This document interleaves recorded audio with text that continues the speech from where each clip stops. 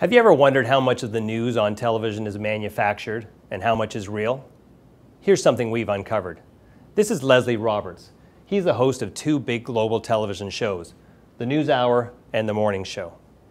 But what you probably don't know about Leslie Roberts is that Leslie, along with this gentleman, Kash Khan, a Toronto businessman, are co-owners and co-founders of a company called Buzz PR. Buzz PR is a Toronto public relations firm which has a long list of clients. And what we found out at the Star is many of those clients appear on these shows.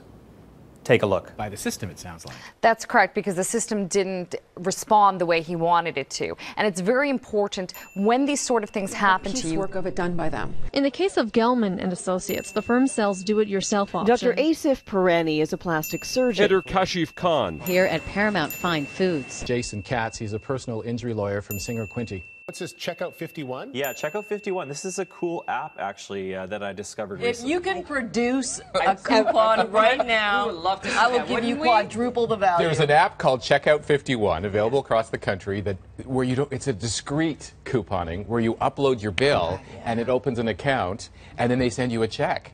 So you don't have to cut anymore. Checkout 51. Check it out. The promotions don't end there. Roberts uses his Twitter account to promote various clients to his nearly 20,000 followers. Here, he tweets an article about a towing company called Rapid Tow and calls the company genius. Rapid Tow happens to be his client.